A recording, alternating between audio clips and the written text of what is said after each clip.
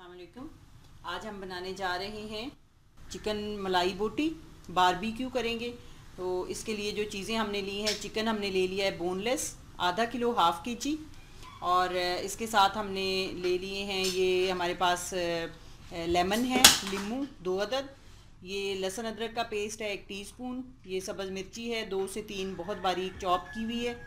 और ये हमारे पास मस्टर्ड पेस्ट है, ये भी एक टीस्पून है। ये नॉर्मल नमक सॉल्ट जो होता है, ये है, ये भी टीस्पून है। और ये चाइना सॉल्ट अजीनोमोटो ये भी हमारे पास एक टीस्पून है, और ब्लैक पेपर भी हम एक टीस्पून लेंगे, काली मिर्ची। और ये हमारे पास वाइट पेपर है सफ़ेद मिर्च पाउडर तो ये भी हमने हाफ़ टी स्पून ही सॉरी वन टीस्पून ही लिया है। और ये हमारे पास मिल्क पैक क्रीम है। ये हम टू हंड्रेड एम लेंगे, और ऑयल हमारे पास है। ऑयल हम वन टेबल स्पून इसमें यूज़ करेंगे। तो ये हमारे इंग्रेडिएंट हैं। अभी हमने चिकन के अंदर ये सारी चीज़ें डाल देनी है। मसाले लेमन का जूस निकाल के हम डालेंगे और क्रीम हम डाल देंगे।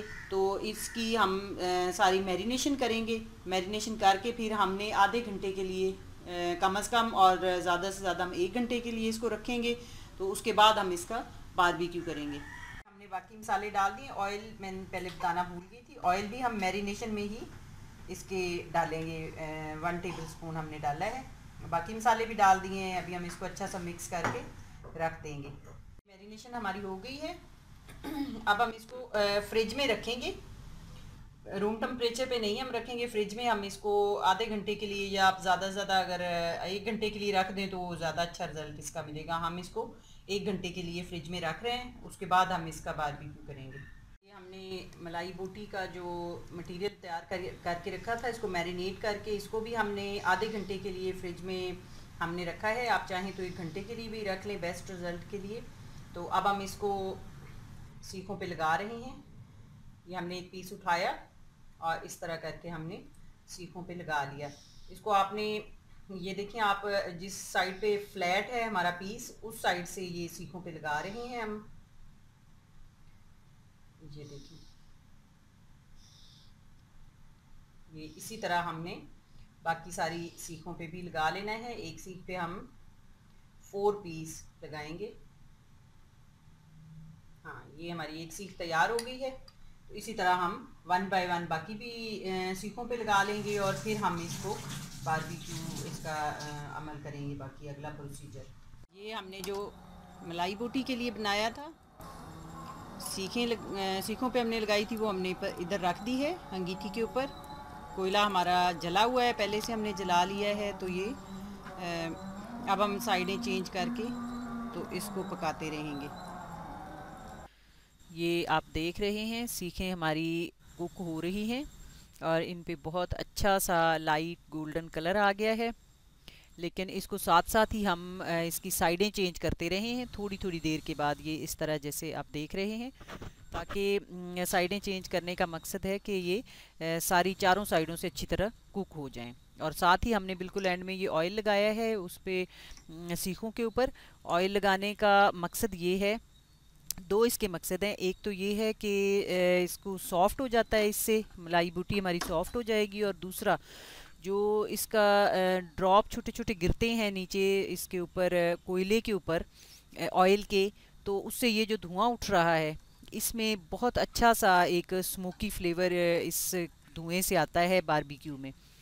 तो ये इसका मलाई बूटी का मज़ा और दुबाला कर देता है। इस वजह से ऑयल लगाया जाता है। ये देख रहे हैं आप बार बार साइडें हम चेंज कर रहे हैं, ताकि सारी बराबर कुक। हो ये इस तरह करके ऑयल लगाने के बाद भी सारी साइडें हमने चेंज की हैं।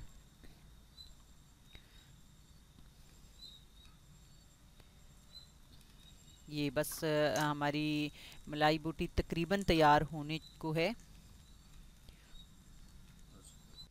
ये हमने अभी उतार के आपको दिखा रहे हैं।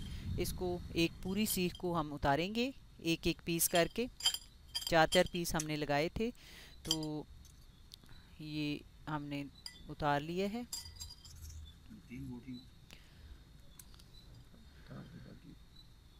ये आप देख रहे हैं कि उतारा भी आसानी से जा रही है और इसका कलर इतना अच्छा आ गया है खुशबू भी मज़े की आ रही है इसकी।